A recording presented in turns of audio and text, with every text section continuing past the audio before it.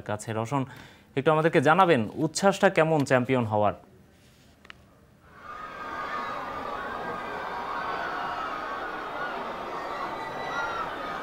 দেখতে পাচ্ছেন বাংলাদেশ কিন্তু নাটকের পর নাটক হয়ে আসলে বাংলাদেশ কিন্তু হেরে গেল। তাদের যে শেষ আশাটা ছিল প্রথমে হচ্ছে ড্র করার পর টাই ব্রেকার তারপর যে একের পর এক টাই ব্রেকারের সময় ঘনিয়ে আসা শেষ করা, তারপরে আসলে বাংলাদেশ যেভাবে টসের মাধ্যমে হেরে গেল, শেষ আশাটা কিন্তু সেখানেই, এই কিন্তু সব শেষ হয়ে গেছে। বাংলাদেশ কিন্তু সেখানে আসলে আশা হারিয়ে ফেলেছে। বাংলাদেশ কিন্তু টস হারার পর কিন্তু ম্যাচ কমিশনারের সাথে বারংবার তর্কে জড়িয়ে পড়েছে। এখনও আমরা দেখছি আসলে তারা কিন্তু খুশি না রেজাল্টটা নিয়ে, যেটা প্রতিপক্ষ দল ভারত একদিকে আনন্দে জয় উৎসবে মেতে উঠেছে, সেই এখানে বাংলাদেশ কিন্তু অনেকটাই নিরুৎসাহিত, অনেকটাই মন মরা অনেকটাই আসলে রেফারিদের সাথে তর্কে জড়িয়ে গেছে ম্যানেজার মিডিয়া ম্যানেজার আমরা দেখতে পাচ্ছি। সে কিন্তু বারবার এসে ম্যাচ কমিশনারকে বোঝানোর চেষ্টা করেছে। কিছু একটা যে হয়তো বা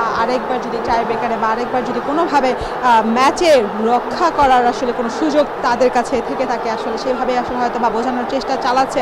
এখন আসলে উত্তেজিত হয়ে গেছে এক পর্যায়ে খেলোয়াড়রাও কিন্তু ম্যাচ কমিশনারের সাথে। এটা আমরা পরবর্তীতে হয়তো বা এর ফলাফল আহ, ভয়ানকও হতে পারে।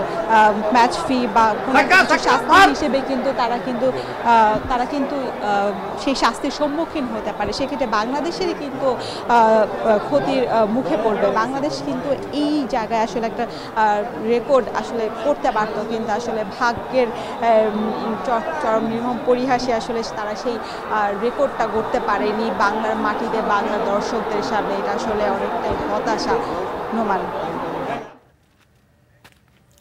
পারল না বাংলাদেশ দল, ভারতীয়রা সাফের শিরোপা পুনরুদ্ধার করেছে। সেই সব খবর জানাছিলেন কমলাপুর স্টেডিয়াম থেকে সহকর্মী শরীফ রোশন। শেষ করছি